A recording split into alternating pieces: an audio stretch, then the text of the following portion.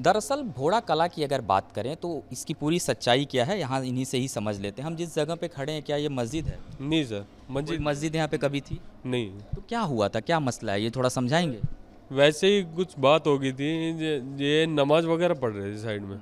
इसमें नमाज़ ये तो वो दूसरे मीडिया वालों ने फैला दिया कि ये मस्जिद है। ये कोई मस्जिद नहीं है। कल रात को भी इसका पंचायत वगैरह हुई थी तो मीटिंग हो चुकी है।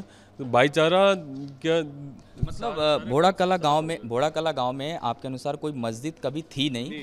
और ये कहा जा रहा है कि मस्जिद में मारपीट हुई। Yes sir. सर मस्जिद थी नहीं यहाँ पे। कब से यहाँ पे ये प्रक्रिया चल रही है? कब से ये लोग आए और कब से ये सारी चीज़ें हो रही हैं? तो ये बहुत पहले से आए ना रखें हैं तो इसी इसी में सरपंच के सामने बात हुई थी।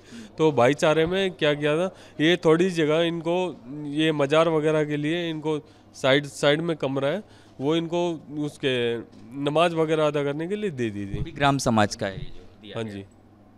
बिल्कुल। तो ये आपको मैं दिखा भी दूँ यहाँ पे प्रत्यक्ष रूप से कि जो ज़मीन है, वो ग्राम समाज की ज़मीन थी और इस ज़मीन को यहाँ पर दिया गया था ज़रूर और इस हिस्से की अगर बात करूँ, यही वो हिस्सा है, काफ़ी पुराना हिस्सा है, एक डाकघर है ये, पुराना डाकघर जिसे कहते हैं और इस पुराने डाकघर से सटे हुए ये ग्राम समाज की ज़मीन थी, जैसा कि यहाँ के स्थानीय ये नागरिक बता रहे हैं इस चीज़ को और उसके बाद इस पूरी घटना को किस तरीके से जो तूल देने का काम किया गया कि कुछ हिंदू संगठन थे जो मस्जिद में पहुँच गए और उन्होंने मारपीट की, बर्बरता की, जबकि यहाँ आने के बाद पता चला कि यहाँ कभी कोई मस्जिद नहीं रही है और ना ही किसी प्रकार के मस्जिद को लेकर के कोई विवाद रहा है।